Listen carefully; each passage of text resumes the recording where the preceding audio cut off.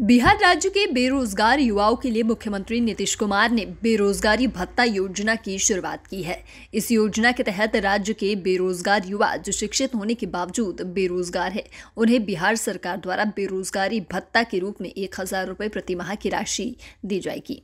ये राशि शिक्षित बेरोजगार युवाओं को नौकरी मिलने तक दी जाएगी। बेरोजगारी भत्ता योजना 2021 के तहत दिया जाने वाला बेरोजगारी भत्ता राज्य के सभी बेरोजगार युवाओं को आर्थिक और नैतिक सहयोग प्रदान करेगा।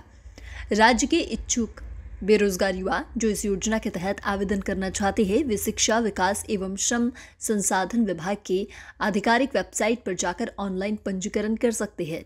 अब युवाओं को कहीं भी जाने की ज़रूरत नहीं है। अब वे घर बैठे आसानी से इंटरनेट के माध्यम से ऑनलाइन आवेदन कर सकते हैं और इस योजना का लाभ उठा सकते हैं।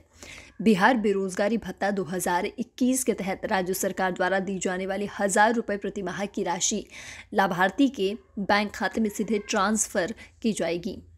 आवेदक के पास बैंक खाता होना अनिवार्य है। इस योजना के तहत बेरोजगारी भत्ता प्राप्त करने के लिए बेरोजगार युवाओं की शैक्षिक योग्यता कम से कम बारहवीं या स्नातक या स्नातकोत्तर होनी चाहिए। बेरोजगारी भत्ता योजना के लिए ऑनलाइन आवेदन करने वाले आवेदक के परिवार की वार्षिक आय तीन लाख रुपए या उससे कम होनी चाहिए। अब जान लेते हैं योजना के लिए पात्रता क्या है। इस योजना के तहत आवेदन करने वाले सभी आवेदकों की आयु 21 से 35 वर्ष के बीच होनी चाहिए। आवेदक के परिवार की वार्षिक आय तीन लाख से अधिक नहीं होनी चाहिए।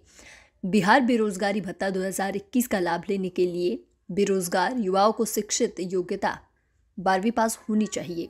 उसके पास कोई भी ग्रेजुएशन या पोस्ट ग्रेजुएशन की डिग्री होनी चाहिए। आवेदक बिहार का स्थायी निवासी होना चाहिए। उसके पास बेरोजगारी भत्ता योजना बिहार 2021 के तहत कोई सरकारी या निजी रोज़गार नहीं होना चाहिए। आवेदक के पास बैंक खाता होना अनिवार्य है और बैंक खाता आधार कार्ड से जुड़ा होना चाहिए।